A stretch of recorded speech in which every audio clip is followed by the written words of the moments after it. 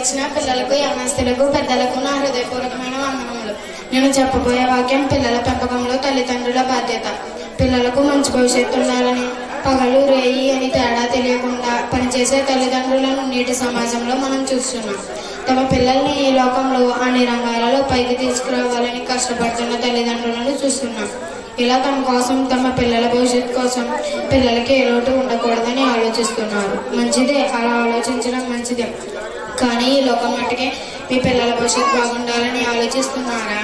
మీరు ఎంత సంపాదించినా ఈ లోకంలోనే ఉంటుంది. ఆ సంపాదన పరలోకం చేర్చలేదు.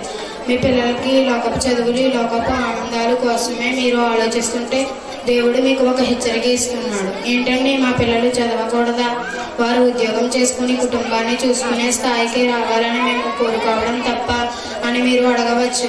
కాదండి మీరు ఆలోచించడంలో తప్పు లేదు. కానీ కేవలం ఈ లోకంలో బ్రతుకు కోసమే ఆలోచిస్తుంటే తప్పంటున్నా అండి. ఈ జానడి పట్టు కోసం ఈ లోకంలో ఎన్నో విద్యలు ఉన్నాయి. ఎన్నో పనులు ఉన్నాయి. లోకంలో ఒక సామెత ఉందండి. కూటి కోసమే కోటి విద్యలు అని ఉంది. అవును కదండి ఎన్నో విద్యలు ఉన్నాయి కదా. ఈ లోకంలో పాఠశాలలో కాలేజ్లో యూనివర్సిటీలో పరలోకం పోవుటకు ఒక పాఠమైనా ఉందండి. లేదండి. పరలోకం పూటకు ఒకే ఒక మార్గం ఒకే ఒక జీవ గ్రంథం అండి. అదే ఈ పరిశుద్ధ గ్రంథం అండి. ఈ గ్రంథం మాత్రమే పరలోకం చేరుస్తుంది. మీ పిల్లల్ని లోక బ్రతుకు కోసం ఆలోచిస్తున్నట్లయితే మీ ఆలోచన మార్చుకోవాలండి. ఈ మాట నేను చెప్పడం లేదు. బైబిలే చెబుతుంది. ఎంతో సుందరమైన పరలోకంలో మీ పిల్లల్ని చూడాలని మీకు లేదా? ఈ లోకంలో ఏముందండి? బ్రతుకు. అయినా ఈ లోకం శాశ్వతం కాదని అందరికీ తెలుసు. పరలోకమే శాశ్వతమని తెలుసు కదా. ఇంకా ఎందుకండి? మీ ఆలోచనలన్నీ భూలోక బ్రతుకు కోసం ఆలోచిస్తున్నాయి. ఇక నుంచి మారండి. మీ బ్రతుకులు మీ పిల్లల బ్రతుకులు మీ పిల్లల ఆలోచనలు విద్య నడవడిక అన్నీ మారాలండి. మీ పిల్లల్ని ఎలా పెంచాలో మీ పిల్లలు ఏ మార్గంలో నడిస్తే వారు పరలోకం చేరుకుంటారు. ఈ పరిశుద్ధ దేవుని గ్రంథంలో తండ్రి ఎంతో చక్కగా వ్రాయించాడు. ఒకసారి చూద్దాం. ఎపిసి ఆరు నాలుగు. తండ్రులారా మీ పిల్లలకు కోపం రేపక ప్రభు యొక్క శిక్షలను బోధలను వారిని పెంచుడి. అంటే మీ పిల్లలకు కోపం రేప రేపక ప్రభు యొక్క బోధలను శిక్షలను పెంచమంటున్నాడు. అంటే మీ పిల్లలకు కోపం రేపవద్దు అంటున్నాడు కోపం రేపకుండా ఆయన బోధలు పెంచమంటాడు. ఏంటండి? ఆయన బోధ అసలు మీకు తెలుసా? మీకు తెలిస్తే మీ పిల్లలకు చెప్పగలుగుతారు కదా. ఆయన బోధ తెలిసిన వారు ఆయన బోధలో పెంచండి. తెలియని వారు విని నేర్చుకోండి. ఆయన బోధ ఏమనగా?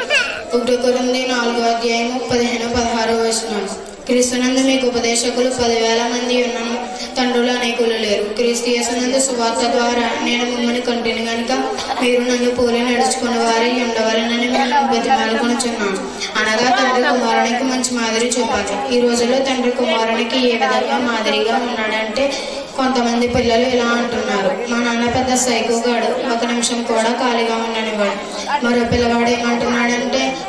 పెద్ద కోపస్తుడు ప్రతి చిన్నదానికి కోపడతాడు మరో పిల్లవాడు మా నాన్న వేరే తాగుబోతు. ఎప్పుడు తాగుతూనే ఉంటాడు ఎప్పుడు కొడుతూనే ఉంటాడు. మరో పిల్లవాడైతే మా మా నాన్న పేకాట పేకాట రాయడు. పేకాటలో మా నాన్న మించిన వాడు ఎవడూ లేడు. ఇలా ఎక్కువగా పిల్లలకి ఎలాంటి విషయాలు మాదిరిగా ఉంటున్నారు? నువ్వు కోపంగా ఉంటే నీ కొడుకు శాంతంగా ఉంటాడా? నువ్వు సైకోగడు అయితే నీ కొడుకు జెంటిల్మ్యాన్గా ఉంటాడా? నువ్వు నువ్వు నువ్వు పేకాట ఆడితే నీ కొడుకు క్రికెట్ ఆడతాడా? నువ్వు ముందు బాటిల్ లేపితే నీ కొడుకు పాల బాటిల్ లేపుతాడా? నువ్వు పక్కింటి వారితో గొడవ పడితే నీ కూతురు పొరుగు వారితో ప్రేమగా ఉంటుందా? నువ్వు బూతులు తిడితే నీ కూతురు నీతి సూక్తులు చెబుతుందా? నువ్వు దొంగతనం చేస్తే నీ పిల్లలు రక్షక బిడ్డలు అవుతారా? నువ్వు చేసే పని బట్టి నువ్వు నడిచే విధానం బట్టి నీ పిల్లలు కూడా నీ బాటలోనే నడుస్తారని మర్చిపోకండి. బైబిల్ చూసినట్లయితే యహాను ఐదో అధ్యాయం పంతొమ్మిదో వచ్చిన కాబట్టి యేసు వారికి ఇట్లు ప్రత్యుత్తరం ఇచ్చాను. తండ్రి ఏదో చేయుట కుమారుడు చూచాను అదే కానీ తనంతట తాను ఏది చేయనారు. ఆయన వేటిని చేయను వాటినే కుమారుడు అలాగే చేయను. చూసారా ప్రియులారా? తండ్రి ఏది చేయట చూచాను అదే కానీ తనంతట తాను ఏదే చేయడంట. నీ పిల్లలు తప్పు చేశారంటే దాని పూర్తి కారణం మీరే. నా కొడుకు పబ్జి ఆడుతున్నాడండి. నా కొడుకు అంత మాట ఫోన్తో ఉంటున్నాడండి. నా కొడుకు మాట్లాడితే బూతులు తిడుతున్నాడండి. అసలు నా పిల్లలు నా మాట వినడం లేదండి. ఇలా చాలామంది తమ బాధలు చెప్పుకునే తల్లిదండ్రులు ఉన్నారు. దానికి కారణం మీరు సరిగ్గా పెంచకపోవడమే. మీరు పెట్టే గారాభం. అడిగిన దానికన్నా ఎక్కువ ఇవ్వడం నా పిల్లలు గొప్పగా ఉండాలి. అందరి పిల్లల కన్నా ఫాస్ట్గా ఉండాలి. వయసు కానీ వయసులో ఇవ్వకూడని వయసులో ఫోన్ కానీ ట్యాబ్ కానీ ల్యాప్ ఇలా ఇవ్వడం మీ పిల్లల్ని మీరే పాడు చేసినట్లు అవుతుంది కనుక ఏం నేర్పించమని దేవుడు చెప్తున్నాడంటే ద్వితీయోపదేశకాండము నాలుగో అధ్యాయము ఆరు నుంచి తొమ్మిది వరకు చదివినట్లయితే దేవుని మాటలు అభ్యసింపజేయాలంటున్నాడు. అనగా దేవుని మాటలు నేర్పించాలి. ఒకసారి చదివినట్లయితే నీ పూర్ణ హృదయంతోనూ నీ పూర్ణాత్మతోనూ నీ నీ పూర్ణ శక్తితోనూ నీ దేవుడని యహోవాను ప్రేమింపవలను. నేడు నేను నీకు ఆజ్ఞాపించి ఈ మాటలు నీ హృదయంలో ఉండవలను. నీవు నీ కుమారులకు వాటిని అభ్యసింపజేసి నీ ఇంట కూర్చున్నప్పుడును త్రోవలు నడిచినప్పుడు పండుకున్నప్పుడును లేచినప్పుడును వాటిని కూర్చి మాట్లాడవలను. సూచనగా వాటిని నీ చేతికి కట్టుకొనవలను. అవి నీ కన్నుల నడుమ భాస్కము వలె ఉండవలను. నీ ఇంటి ద్వారబంధముల మీదను నీ గోనెల మీదను వాటిని వ్రాయవలను. చూసారా ప్రియులారా? దే- దేవుడు ఏమంటున్నాడంటే నీ కుమారుడు హోంవర్క్ చేసిన తరువాత ఖాళీగా ఉన్న టైం పనులు చెప్పక వాక్యాన్ని నేర్పించండి. నీ పిల్లలు పొద్దున్న లేవగానే అమ్మ ఒకరితోడమ్మా కుండలతోమ్మా బాబు షాప్కి వెళ్ళిరామా లేదా టిఫిన్ తీసుకురామా పాలు తీసుకురామా అని చెప్పడం కాదు. మీ పిల్లలు పొద్దున్న లేవగానే దేవుని మాటలు అభ్యసింపజేయాలి. పొద్దున లేచినప్పుడు కూర్చున్నప్పుడు మార్గంలో నడిచినప్పుడు నీ పిల్లలతో నీకు ఎప్పుడైతే ఖాళీ సమయం దొరుకుతుందో ఆ సమయాన్ని వ్యర్థం చేయక దేవుని మాటలను నేర్పించండి. తల్లి బాధ్యత. పిల్లలు పెంచే విధానంలో ముఖ్యమైన పాత్ర తల్లి. ఒకటి తిమోతి ఐ- ఐదు ఐదో అధ్యాయము పద్నాలుగో వచనం. పిల్లల గృహ పరిపాలన చేయాలి తీతుకు రెండో అధ్యాయం మూడు నుంచి ఐదు వరకు చదివినట్లయితే పిల్లలు ప్రేమించే వారిగా ఉండాలి. ఉద్యోగం కోసం లోముల కోసం ధనం కోసం మీ పిల్లల్ని దూరంగా ఉంచకండి. మీ పిల్లల కంటే అవేమీ ఎక్కువ కాదు. రెండు తిమోతి ఒకటో అధ్యాయం మూడు నుంచి ఐదు వరకు చూసినట్లయితే తల్లి బిడ్డలందు విశ్వాస విశ్వాసంలో పెంచాలని చూస్తున్నాం. ఎస్కేలు పదహారు అధ్యాయం నలభై నాలుగో వచనం. సామెతలు చెప్పు వారందరూ తల్లి ఎటుదో బిడ్డయ్యో అట్టిదని నిన్ను గూర్చి అందరు. ఇక్కడ చూడండి తల్లులారా మీకు మీకోసం ఈ మాట రాయించారు. నీ బిడ్డ ప్రవర్తన బట్టి నువ్వు ఎలాంటి దానివో చెప్పవచ్చు. నువ్వు మ- నువ్వు మంచిగా నీ పిల్లలకు నాలుగు మాటలు నేర్పిస్తే నువ్వు ఎలాంటి దాను నీ పిల్ల నువ్వు ఎలాంటి దానో నీ పిల్లని బట్టి నువ్వు ఎలాంటి దానో నీ పిల్లని బట్టి చెప్పవచ్చు. కనుక పిల్ల మీ పిల్లలు మంచి మాదిరి మంచి మాదిరి చూపాలని ఇక్కడ తెలియజేస్తున్నారు ఇవి దేవుడు తల్లిదండ్రులకు చెప్తున్న మాటలు.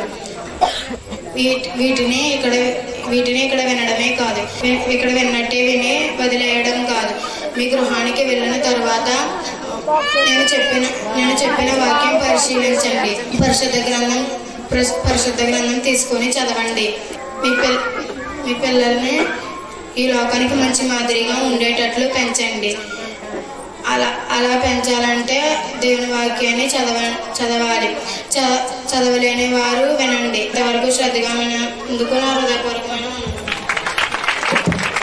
వెరీ గుడ్ క్లాప్స్ కట్టి తల్లిదండ్రులు బిడ్డల ఏడలు ఏ విధంగా ఉండాలనేది చాలా చక్కగా చెప్పింది.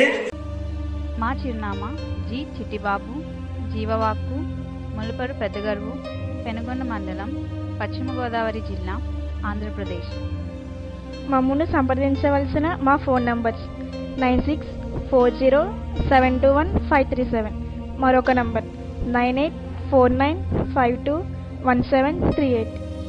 Our address G Chittibabu Jeevavakku Mulaparru Peddagaruvu Penugonda మండలం west Godavari district Andhra Pradesh. Five three four one my contact number nine six four zero seven two one five three seven another number nine eight four nine five two one seven three eight